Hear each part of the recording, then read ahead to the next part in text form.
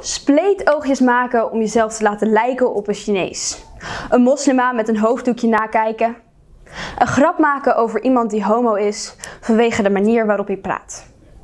Uit dit voorbeeld kan maar één ding geconcludeerd worden. Dit persoon is discriminerend, racistisch en ronduit gevoelloos.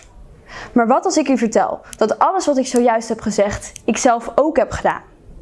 En wat als ik daaraan toevoeg dat dit jaren geleden was en dat ik nu door de mensen om mij heen word gecomplimenteerd vanwege de politieke correcte manier van handelen die ik heb?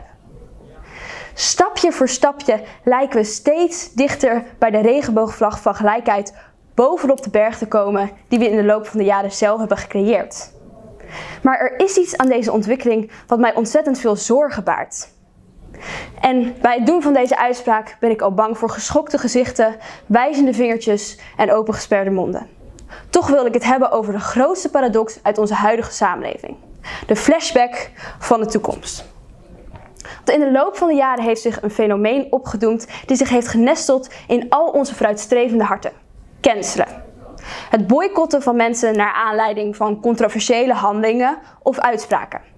Alle hoeken en gaten van het internet worden uitgeplozen op zoek naar die ene onder het stof geraakte uitspraak uit een ver verleden. En als deze eenmaal is gevonden in de rommelzolder van Facebook of Twitter, is niemand meer veilig voor de bulldozer van de cancelcultuur. En hoewel ik volledig ben voor het creëren van bewustzijn, is de greep uit het verleden hetgene wat mij bang maakt.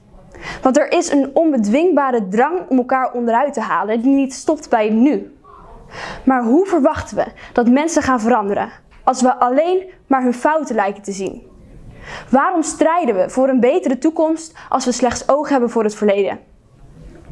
Wanneer lijken we te begrijpen dat een mens altijd verandert en dat het levend een altijd lopend proces is?